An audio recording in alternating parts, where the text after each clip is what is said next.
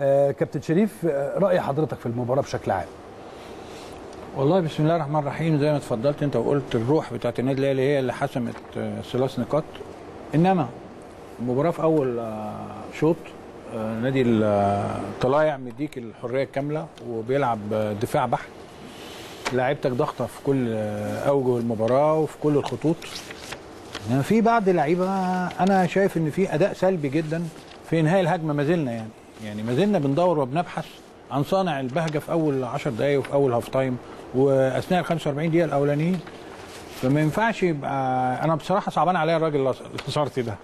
يعني عنده جميع ال- الوجوه وجميع الشكلات إن هو يبقى متفوق على ما فيش خلال المباراة في أول من 45 بدري.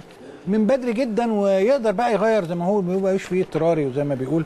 يقدر يدي بقى وليد سليمان اللي أسرى الملعب الحقيقة خبرة وهو واقف حتى لمس الكرة مرتين ثلاثة وحاول في التهديف.